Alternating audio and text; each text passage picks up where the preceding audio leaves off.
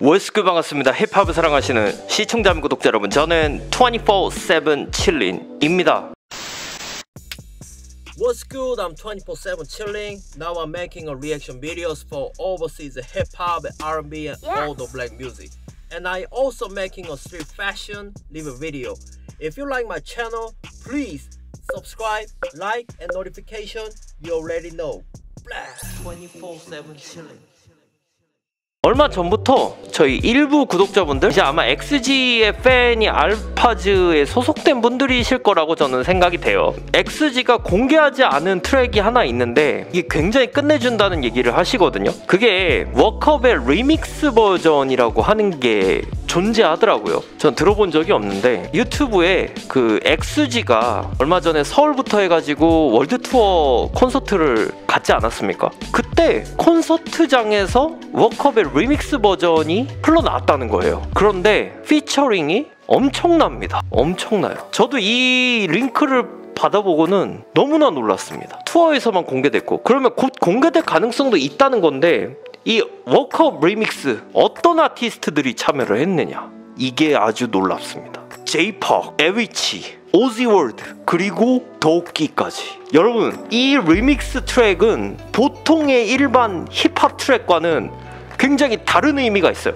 official로 공개가 된다면 이거는 보통 일이 아닌 겁니다. 왜? XG는 일본인으로 구성된 그룹이고 한국인 프로듀서 분 의 지휘하에 제작된 그룹이에요. K-팝의 무드와 J-팝의 무드가 섞여 있고 물론 힙합이 기반으로 깔려 있지만 그렇기 때문에 XG는 일본과 한국을 오고 가면서 활동을 하는 그룹이지 않습니까?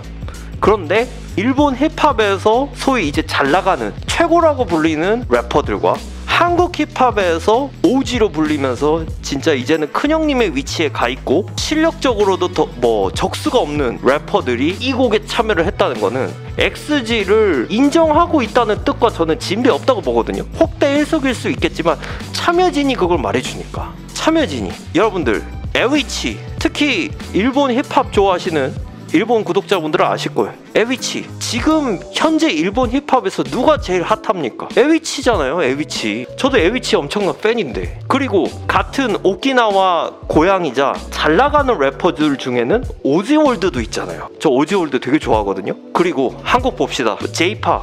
뭐 설명하면 입 아프죠. 두말하면 잔소리고 도끼 제가 제일 좋아하는 한국 힙합에서 여전히 제일 좋아하는 래퍼는 도끼입니다. 다른 래퍼들과는 달랐어요. 힙합으로 돈을 벌 수 없다고 하는 시절. 힙합이 참 프라임 타임도 오지 않았던 시절부터 도끼는 언더그라운드에서부터 착실하게 자기 실력과 커리어를 쌓아서 힙합으로 많은 돈을 벌 수 있고 미국 흑인 래퍼들처럼 자수성가해서 성공할 수 있다는 예시를 보여준 래퍼입니다. 랩 실력은 뭐 적수가 없다고 전 생각할 정도로 너무나 무적의 래퍼라고 생각하거든요. 도끼 같은 경우는 이 WOKE UP 리믹스에 참여한 4명의 아티스트는 거의 뭐 이렇게 다 모이니까 invincible, untouchable 약간 이런 생각밖에 안 들어요. 도대체 이 곡 언제 release가 되죠? 참을 수가 없어서 구독자분들로부터 받은 링크를 가지고 오늘 영상 시청을 해봅니다. 지금부터 들어보도록 하겠습니다. 야, 오케이, let's get into it.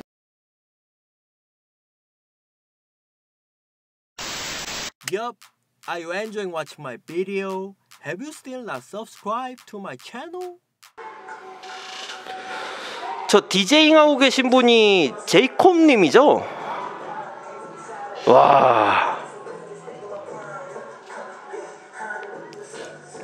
이게 정식으로 나온 트랙이 아니다 보니까 지금 뭐 투어 현장에서 들리는 사운드나 이런 게 원활하지 않을 수도 있어요. 이해를 하고 우리는 들어야겠죠? 음. 야, 이런 거 좋지. 아니, 아이돌이 얼마나 힙합에 진심이고 실력을 많이 쌓았으면 한국과 일본에서 최고로 불리는 래퍼들이 이렇게 다 참여를 할 수가 있을까요? 다른 아이돌 그룹들도 래퍼들을 데려다가 피처링 아티스트로 기용을 하지만 이건 좀 의미가 남다른 것 같아요. 아, 가, 제이팍이 가사에 XGN 제이팍이라고 아예 샤라웃을 해주네.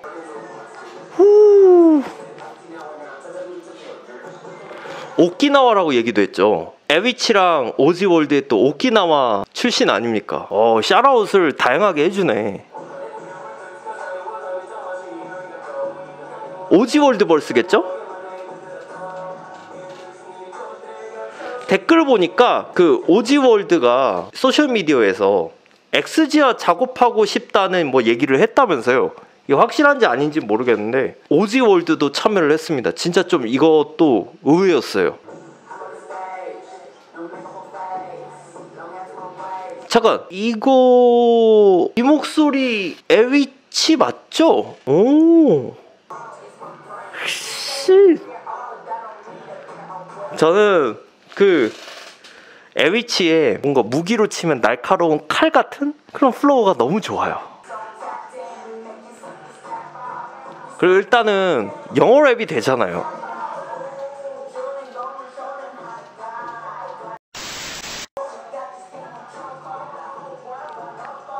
아우 참여한 래퍼들 flow도 다 좋네.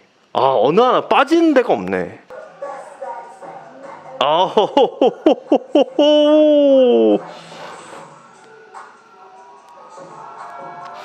제가 제일 기대되는 거는 도끼의 파트예요. 도끼 같은 래퍼는 대외적인 활동을 굉장히 많이 안 하죠. 한국에서 살다가 지금 미국에서 살고 있거든요. 이제 도끼랑 더콰이엇이 설립한 일리네어 레코즈가 해산이 되고 미국으로 가서 앨범 작업은 하고 있지만 한국에 와서 막 많은 활동을 하는 것도 아니고 되게 조용히 지내는 래퍼란 말이에요. 일리네어를 그리워하는 한국 힙합 팬들이 정말 많습니다.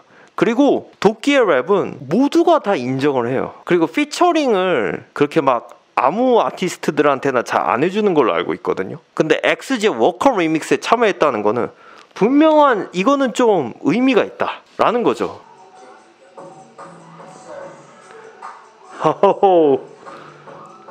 그리고 최근에 도끼가 홈베비즈 음악들을 많이 만들었는데 이렇게 트렌디한 음악에 랩 얹는 거는 오랜만이야.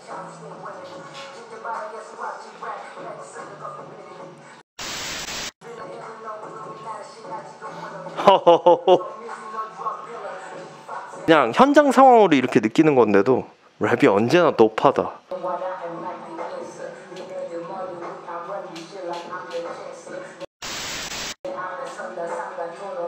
어.